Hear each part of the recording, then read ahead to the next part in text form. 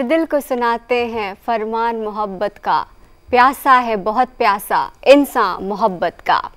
नाजरीन आदाब, मैं कशफी शवाल इस्तकबाल करती हूँ आपके पसंदीदा प्रोग्राम गुफ्तु में। जैसा कि मैंने ज़िक्र किया, फरमान सीरियल के इस टाइटल सॉन्ग के दो लाइन का तो फरमान सीरियल एक ऐसा सीरियल था जिसके कुछ कैरेक्टर्स अभी तक हमारे दिलो दिमाग में महफूज हैं।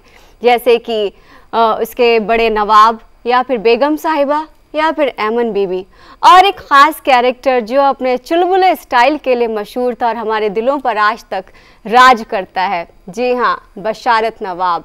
तो नाजरीन इस वक्त हमारे साथ मौजूद हैं बशारत नवाब यानी कि राजा बुंदेला साहब। राजा साहब इस्तकबाल है आपका गुफ्तु में। आप शुक्रिया। सबसे पहले जानना चाहूँगी आपसे कि फरमान सीरियल में जो आपका कैरेक्टर था बड़ा फ़नी सा और बहुत चुलबुला शौक टाइप का था। तो क्या आप रियल लाइफ में भी ऐसे ही हैं?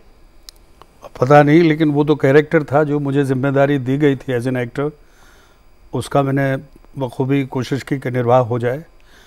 दरअसल फरमान एक ऐसा सीरियल था जो बहुत आ, हिंदुस्तान के उन लोगों ने मिलके बनाया था जो अपने अपने फ़ील्ड में बहुत महारत हासिल करे हुए थे। आ, रज़िया आपा ने लिखा था और इसका आलमपना नाम का एक उपन्यास था जिस पर इसको बेस किया गया था। और लेख टंडन जी उस ज़माने के मशहूर डायरेक्टर उन्होंने डायरेक्ट किया था और गुल आनंद जी इसके प्रोड्यूसर थे। तो वो जो आप कह रही वो ऐसा कॉम्बिनेशन बना कि वो अभी तक जैसा आप कह रही लोगों को याद है और मुझे भी वो भूमिका करके मुझे लगता था कि मैंने जीवन की एक बड़ी खूबसूरत ज़िंदगी को एक छोटे से हिस्से में जी लिया। अब वो चुलबुला था या क्या था ये तो नहीं पता लेकिन वो मेरे दिल को ज़रूर बड़े शरारती टाइप उसमें आप नज़र आए हैं जो आप एमन बीवी को छेड़ते रहते हैं हर वक्त और अब उस वक्त उस उस सब्जेक्ट की और उसकी वो वो थी उसकी दरकार तो मैंने किया वो वैसे अब नहीं छिड़ पाऊँगा किसी को भी मारेगा और मीटू में बंद करवा देगा मुझे है? तो अब तो बड़ा मुश्किल है लेकिन वो चरित्र था कैरेक्टर था किरदार था जो मैंने जिया बहुत ही कम लोगों को मालूम है कि आपका जो रियल नेम है वो कुंवर राज प्रताप सिंह बहादुर बुंदेला करके है। शायद मैं भी कुछ गलत ही बोल रही हूँ इतना लंबा नहीं, नाम नहीं, ठीक बोल रहा आपने बीच में एक छोड़ दिया आपने। तो वहाँ से लेके राजा बुंदेला तक का जो सफ़र है मैं उसके बारे में आपसे जानना चाहूँगी। ख़ानदान में ऐसे एक परंपरा रही है कि पूरा नाम लिखा जाए बोला जाए पढ़ा जाए जो कि आम ज़िंदगी में ये संभव नहीं है। तो पहली फ़िल्म जब मुझे मिली तो हमारे डायरेक्टर शिव कुमार जी थे, अलीगढ़ के यहीं थे देदा मई के। तो उन्होंने हमको बुलाया सेलेक्ट किया, पृथ्वी थिएटर में हमारा नाटक देखा। नाटक के बाद जब रोल के लिए उन्होंने तय किया तो फिर जब असली नाम उन्होंने सुना तो बोले, अरे, पागल हो गया क्या तू?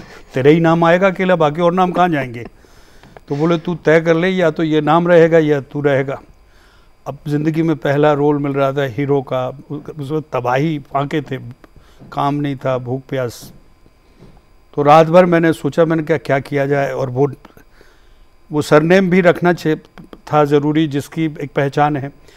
बाप दादा ये कहते सलाह और कुछ किया नहीं कि नहीं किया अब तो ठीक है। साले ने नाम ही काट के खूब दबा दिया। तो वो बुंदेला रख के मैंने बाकी सब काट कूट के सबका एक डंडा ले लिया तो राजा करके।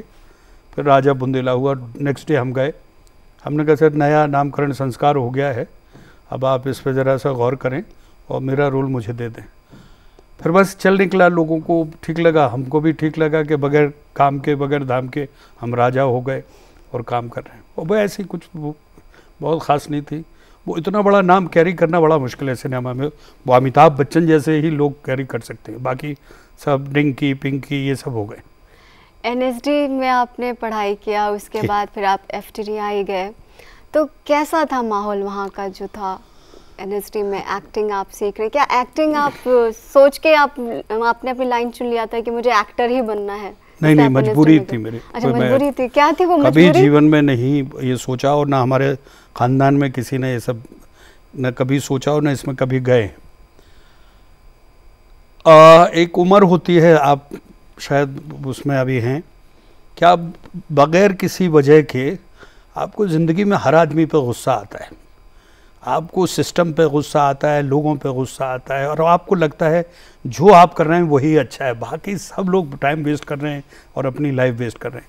वो दौर मेरा भी था। और उन दोनों हम लोग थोड़ा सा पैसे वालों को बड़ा दुश्मन समझते थे कि समाज में जो गंदगी है वो इन्हीं की वजह से है। क्योंकि वो पैसे हमें मिल नहीं रहे उनके ऐश हम कर नहीं पा रहे हैं दूसरे करते थे तो बुरा लगता था। जी। तो एक नक्सलवाद का जन्म हुआ था लाल डेंगा उस वक्त बड़े पॉपुलर थे। हमें बड़ा लगा कि लाल डेंगा के ग्रुप में जाके नक्सलवाद के साथ जुड़ेंगे और समाज में समानता लाएँगे। वो ये भ्रम था। इस वजह से घर में भी झगड़े हुए मार पिटाई हुई और एक रात हमें निकल ही लिए। अच्छा। हाँ। आप घर से भाग गए भाग गए थे। अब उमूमन सभी भाग जाते हैं कोई नई बात मैंने नहीं की। लेकिन मैं घर से निकल गया और मुझे लग रहा था छोटे से उस कस्बे में ललितपुर में मैं शायद या तो ललितपुर मुझे नहीं पचा पाएगा या मैं ललितपुर को नहीं पचा पा रहा हूँ। अच्छा। तब हमारे एक पारिवारिक मित्र ने कहा तेरी शक्ल भी अच्छी है हंसा वंसा भी लेता है और मैं योगा बड़ा अच्छा करता था। तो उन्होंने मैंने एक आध योगा नाक से पानी वानी पीना सिखाया। अरे बोले तू एन ज्वाइन कर ले। अच्छा। तो वो सिलसिला यूँ हुआ कि फिर एन ज्वाइन किया हमारा लेटर पिताजी के पास पहुँचा उन्होंने फाड़ फूड़ के दो तीन जमाई। घर में हाँ कि साला नचैया गवैया हो गया ये देखे और तो और। खैर, फिर हम बगैर स्कॉलरशिप के दो लोग, मेरे साथी रघुवीर यादव, हम दो लोग, हम लोगों ने ज्वाइन किया। एन के बाद हमें इब्राहिम अलकाई साहब ने बहुत मदद की। उस ज़माने में यहाँ के वो डायरेक्टर थे। और जब हमने उनसे कहा कि मेरे पास तो ना घर है, ना घर से कोई मेरी, किसी तरह का कोई रसद आती है, ना मदद मिलती है तो उन्होंने फिर हमें स्कॉलरशिप दिलाई। और एन पास आउट होने के बाद एक हज़ार सात सौ रुपये दिए। उन्होंने कहा, क्या करोगे? हमने कहा, बम्बई जाएँगे, हीरो बनेंगे। हमने कहा इसमें झूठ बोलने की कोई बात ही नहीं क्यों उनसे कहूँ कि रंगकर्मी बनना है? रंगकर्मी हम बनना ही नहीं चाह रहे थे। तो उन्होंने कहा भैया ले सत्रह सौ रुपये अपना धंधा करा के जा। तो फिर हम बॉम्बे निकले। एन एस टी इसके बाद रिपेट्री कंपनी में ज्वाइन किया। पूना के बाद फिर वापस आए और फिर बॉम्बे गए। पर ऊपर वाले ने थोड़ी बहुत गुंजाइश बना दी तो जो कुछ मिला तो कर लिया। तो फिर घर वालों ने जब आपकी पहली फ़िल्म छः साल बाद। छः साल तक ना उनको पता था मैं कहाँ हूँ ना मैं मुझे पता था कि घर वाले कैसे तो छह साल आपने स्ट्रगल किया? हाँ इसलिए कि मैं इस- उस मकाम में भी नहीं था कि घर वालों को कह सकूँ कि मैं ज़िंदा हूँ और बहुत कुछ कर रहा हूँ। शर्मिंदा ही था क्योंकि कुछ कर ही नहीं रहा था। पर एक नाटक का जब पहली बार रिव्यू निकला जब मैंने नेशनल रेपेट्री कंपनी ज्वाइन की तो उस वक्त तक हम राजा बुंदेला नहीं बने थे क्योंकि फ़िल्में नहीं मिली थी। तो आर एस बुंदेला लिखता था मैं। तो उसमें रिव्यू हिंदुस्तान में आया कि आर एस बुंदेला ने भी अपनी छोटी सी भूमिका उम्दा तरीके से निभाई। तो मेरे पिताजी को उनके दोस्त ने कहा, यार, ये बुंदेला कौन है? ये तो तेरा बेटा तो नहीं कहीं? मैं भगोड़ा था तो उन्होंने कहा, लेते चांस लेते हैं। और फिर मेरे पिताजी अपने दोस्त के साथ यहाँ आए।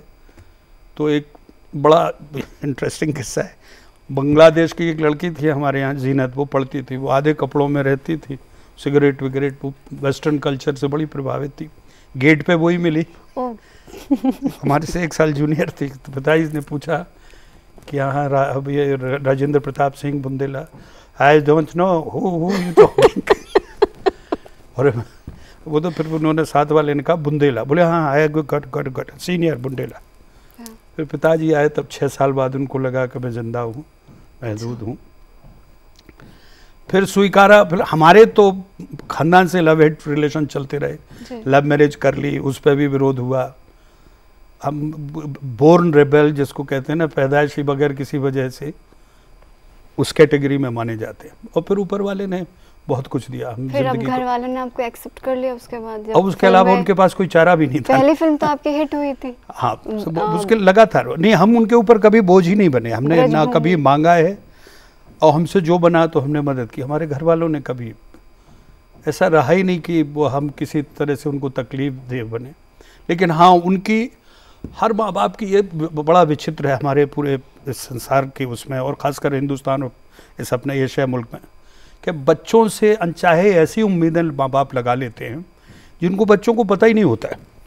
अब उन्होंने सोचा होगा, मेरा बेटा मिलिट्री में जाएगा, बड़ी खेती किसानी करेगा। तो मुसीबत ये होती कि हमने उनकी पूरी उम्मीदें पे, पानी फेर दिया। और वो ना तो उनको आभास था कि मैं ऐसा करूँगा, ना मुझे आभास था कि वो क्या सोच रहे हैं। और ये उमूमन हमारे परिवारों में होता है। हमको इसीलिए ये नए दौर ने बड़ा सबक से बकाया मेरे दो बेटे हैं, उनसे, उन्होंने बगैर पूछे अपने अपने दुनिया चुनी, एक न्यूजीलैंड चला गया, एक ऑस्ट्रेलिया चला गया, अपने आप सब्जेक्ट चुने। क्योंकि हमने उनसे कोई उम्मीदें नहीं लगाई थी कि वो फुटबॉलर बनेंगे क्रिकेटर बनेंगे एक्टर बनेंगे। ये बहुत ज़रूरी है। आपके चैनल के माध्यम से भी मैं कह रहा हूँ कि माँ बाप को, बच्चों को वो ना, उससे वो उम्मीद ना रखें जो वो नहीं कर पाए। वो कहते ना कि हमने एक एक्स्ट्रा ईगो आ, मैं नहीं कर पाया, मेरा बेटा करेगा। क्यों करेगा भैया आपका बेटा? वो आपका बेटा इसलिए करेगा, वो अपनी चॉइस का नहीं करेगा। तो मेरे माँ बाप को वो कसक थी। पर धीमे धीमे उन्हें लगा कि साहब इसने नाम ख़राब नहीं किया पैसे नहीं लिए फिर भी चार लोग इसको जानने लगे। चलो अच्छा ही है तो उन्होंने फिर माफ़ करना शुरू कर दिया। तो आपके बच्चों को पूरी आज़ादी आपने दे रखी हाँ हाँ? जी बिल्कुल आज़ादी। अब इतनी आज़ादी नहीं कि सर पे चढ़ के कथक डांस करें। लेकिन चॉइस के एक न्यूजीलैंड में है वो साइंटिस्ट हैं अपनी पीएचडी कर रहे हैं। हाँ। और दूसरा बेटा अभी ऑस्ट्रेलिया से आया वो अनुराग बासु के। असिस्टेंट हैं डायरेक्टर के। सब उन्हीं की चॉइस है। हमने कभी उनसे कुछ नहीं कहा। हमने न कभी उनसे उस तरह की उम्मीद की है और ना आगे भी है। वो अपनी ज़िंदगी जिए। हमारा बस इतना है कि खुश रहे। मानवता और समाज को लेकर अपनी ज़िम्मेदारी समझें और खुश रहें। सुष्मिता जी से आपकी पहली मुलाकात कैसे हुई थी? कोई यादगार लम्हा? मैं चाहती हूँ आप उसके बारे में बताएँ। अभी आपने खुद ज़िक्र किया कि बहुत हंगामा हुआ था। शुक्रगुजार हूँ कि उसके वजह से मेरे बच्चे पढ़े लिखे गए। और इस इस मकाम पर पहुँचे कि वो आज अपनी ज़िंदगी को लेकर फैसला कर रहे हैं। मैं भगोड़ा रहा, घर से भागा, फिर जब पहली बार एक्टर इस्टेब्लिश हुआ तो कंपनी खोल ली एक्टिंग बंद हो गई कंपनी जब ठीक ठाक चल रही थी छः सात सीरियल चल रहे थे कंपनी में, प्रयास प्रोडक्शन में तो डायरेक्टर बन गया कंपनी बैठने लगी, जब डायरेक्टर ठीक ठाक हो गया तो बुंदेलखंड अलग राज्य का आंदोलन उठा लिया। तो मैं अपने आप को अपनी तलाश करता रहा, लेकिन मेरी वाइफ ने शुक्रगुजार हूँ उसका आप सबके सामने के उसने बच्चा और गृहस्थी संभाली और बच्चों को एक लायकत दी एक ज़िंदगी जीने का हुनर सिखाया। और हर लम्हे उनके साथ तो याददाश्त है लेकिन हम एक प्ले कर रहे थे। आ, चंदनपुर की चंपाबाई पहला प्ले था और एक था चीन की हसीना मेरी बीवी चीन की हसीना बनी थी। और उन दोनों हसीना थी वो, और मैं किसी जगह का राजकुमार था। वह ऐसे ही दौर चला हसीना और राजकुमार का। She is a wonderful lady यहाँ आपकी दिल्ली से हैं। हम पोस्ट ग्रेजुएट हैं नेशनल स्कूल ऑफ़ ड्रामा से हैं। लिखती हैं सुष्मिता मुखर्जी बुंदेला, उनका नाम है। नहीं, वो बहुत अच्छी एक्ट्रेस हैं। तो अब मैं ये जानना चाहूँगी अब फिल्मी दुनिया से बाहर निकलते हैं अब आपके पॉलिटिक्स का जो सफ़र है इसके बारे में जानना चाहूँगी कि बुंदेलखंड के लिए आपने काफ़ी काम किया। पाँच करोड़ बुंदेलखंड वासी सात नदियाँ के होने के बावजूद प्यासे हैं। पंद्रह साल में तेरह बार तेरह बार वहाँ अकाल पड़ा है। हिस्ट्री उठा के देख लीजिए आप। चार जगह हम बिजली बनाते हैं फिर भी हम आठ घंटे से छः घंटे तक हमें बिजली मिलती है। ये आंकड़े हैं जो सरकार के हैं, सड़सठ प्रतिशत वहाँ से पलायन हो चुका है। वहाँ केवल बुज़ुर्ग और बीमार लोग रह रहे हैं। 48 परसेंट हम बिलो पावर्टी लाइन में हैं। 53 और 54 परसेंट हमारे यहाँ अशिक्षा है। जहाँ पे सब कुछ है, जहाँ पे पन्ना में हीरे निकलते हैं, सोना, फास्फोरस, खनिज सब कुछ है, वहाँ की दुर्दशा इतनी है कि आपको हम कह नहीं सकते। केवल अब इतिहास तो शौर्य और बहादुरी के लिए बुंदेलखंड को याद करता था। अब केवल भूखमरी, गरीबी और एक और कहावत है, पानी, पकड़, पलायन, फट्टा और कट्टा। इन पाँच चीज़ों के लिए बुंदेलखंड मशहूर है। मैं पाँच चीज़ों का, पलायन सिक्सटी सिक्सटी सेवन परसेंट, पानी है नहीं। पकड़ एक हमारे यहाँ धंधा होता है, किसी बिजनेसमैन को वहाँ से पकड़ के कहीं और देते हैं, फिर सब लेट करते जाते करते जाते, अल्टीमेटली रैंसम रैंसम मिलती है जब उसको छोड़ते हैं। अच्छा। फट्टा ताश खेलते हैं नौजवान बेचारों को पास कुछ है नहीं तो अपना ता और कट्टा उरई में बनते हैं तो इस तो विरोध इस बात का है कि देश की आज़ादी के पहले मुगल काल में भी बुंदेलखंड सूबा था आप इतिहास उठा लें। अंग्रेज़ों के ज़माने में था जहाँ झांसी की रानी ने कहा कि मैं अपना झांसी नहीं दूँगी। उस बुंदेलखंड सूबे को आज़ादी के बाद 1947 में वर्टिकल लाइन से दो भागों में बांट दिया गया। उसका कोई मतलब ही नहीं था। आधा उत्तर प्रदेश, आधा मध्य प्रदेश। कोई लॉजिक किसी को नहीं दिया गया, न कभी किसी से बताया गया। ऐसी स्थिति में ना आपने कहीं कोई गुणा भाव किया राजस्व का, ना आपके अपनी फ़ील्ड का, ना आपके रोज़गार का, और उसको जब आपने दो भागों में बांटा तो वहाँ निश्चित ऐसी चीज़ें शुरू हुई जो जो वहाँ के लिए काबिल ठीक नहीं थी। और जो पॉलिटिकल वहाँ का जो रिप्रेजेंटेटिव थे वो सामंतवादी थे, राजा रजवाड़े थे, उन्हीं को अंग्रेज़ छोड़ गए, वही चुनाव में जीतते गए। तो वो जो डेवलपमेंट जो दूसरे क्षेत्रों का हुआ, पंजाब का, केरला का, महाराष्ट्र का, वो डेवलपमेंट यहाँ वंचित रहा। सर्वांगीण विकास होना चाहिए ना। हर चीज़ का विकास होना चाहिए ना। वहाँ विकास नहीं हुआ है। इसको लेके ये मानना है कि इस आबादी की संस्कृति खत्म हो रही है, उसकी भाषा खत्म हो रही है, और आपको तो हम बुंदेलखंडी में बोल के दिखा दें। जब किसी भी समाज की किसी भी समुदाय की भाषा संस्कृति और पहनावा ख़त्म हो जाए तो वो विलुप्त हो जाता है। जी। वो मर जाता है। हमारा कहना है कि इस संस्कृति को मरने मत दीजिए। हमारे यहाँ तुलसीदास जी हुए हैं हमारे यहाँ वेद व्यास हुए हैं हमारे यहाँ रसखान हुए हैं हमारे यहाँ गुलाम गुलाम गौस खां हुए हैं हमारे यहाँ गामा पहलवान हुए हैं हमारे यहाँ ध्यानचंद हुए फिर भी हम अपने नाम को तरस रहे हैं। उस स्थिति में मैं इस आंदोलन से जुड़ा हूँ। मेरा राजनीतिक जो सफ़र है वो केवल बुंदेलखंड को लेकर है। बुंदेलखंड को लेकर मेरी प्राथमिकता है और उसी के लिए मैं काम कर रहा हूँ। जैसा कि आपने बताया कि बुंदेलखंड हर चीज़ में पीछे ही है तो आपको बहुत चैलेंजेस आते होंगे लोगों में समस्याएँ तो हैं। देखिए कोई भी व्यवस्थित आदमी ये नहीं चाहेगा। एक दुकान कहीं किसी की लगी हुई है और बगल में आके कोई दूसरी दुकान खोल दे तो वो बगल वाला तो नहीं चाहेगा ना। कि इसकी दुकान भी चले। यही हमारे क्षेत्र का, हमारा पॉलिटिकल लीडर किसी नई लीडरशिप को तो एक्सेप्ट करने में तैयार ही नहीं, क्योंकि उसकी विचारधारा के पलट, उलट नई विचारधारा बात कर रही है। तो वो हर कदम पर, जैसे समाजवादी पार्टी का रूल था पिछली बार उत्तर प्रदेश में, वो तो छोटे राज्यों के खिलाफ हैं। वो कहते हैं छोटे राज्य क्यों, बड़ा राज्य रहना चाहिए।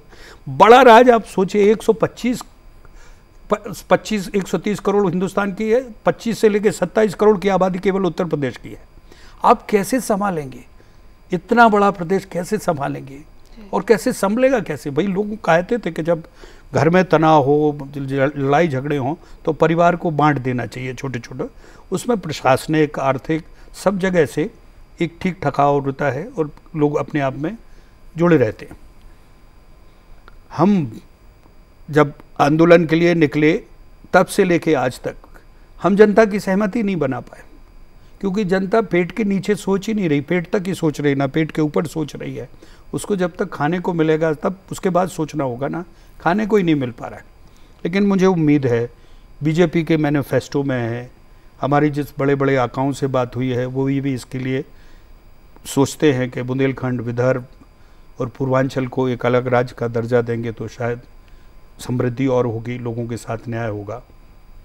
दो आपको छोटे आंकड़े देकर मैं इस पॉइंट को ख़त्म करूँगा। ललितपुर एक जगह है, जहाँ पर एक बाँध बना। उस जगह पे बाँध बना, वहीं और उसमें बिजली बन रही है। वहाँ का पानी, वहाँ की आबो हवा वहाँ की ज़मीन और उस शहर को एक मेगावाट बिजली नहीं मिलती। दूसरी जगह, झांसी के पास एक गाँव है चमरौआ वहाँ एक बाँध बना है। छः साल हो गए उसको बाँध को बने हुए। उस गाँव में पानी पीने की चमरौआ आपको मेंशन कर रहा हूँ त्राई त्राई है उस गाँव में। पानी पीने को नहीं जहाँ पे बाँध बना है। मतलब यहाँ से बाहर निकल के अब दो किलोमीटर जाइए, बाँध दिखाई देता है और वहाँ पे पानी नहीं। कैसे होगा ये? पटना में डायमंड्स के खाने हैं। पैंतीस हज़ार crore per year central government लेती है। सत्रह हज़ार करोड़ स्टेट गवर्नमेंट लेती है। और पन्ना की महिला पूरे दिन लकड़ी बीनती है, तब उसको साठ सत्तर रुपये मिलते हैं अगर घर में कोई नहीं है। और वो बाज़ार में बेच के आती तो अपने परिवार को खाना चुप देती है। मर्द नहीं जाता, क्योंकि मर्द नाक मूछ है, नाक ऊपर है। तो वो महिला जब जाती है, इस दुर्दशा से कैसे लड़ा जाए? जहाँ पे आप हीरे की खान हैं, जहाँ आप पन्ना निकाल रहे हैं, वहाँ उस शहर की दुर्दशा देख लीजिए। हमारा यही मतलब है, हम कोई विद्रोह नहीं कर रहे।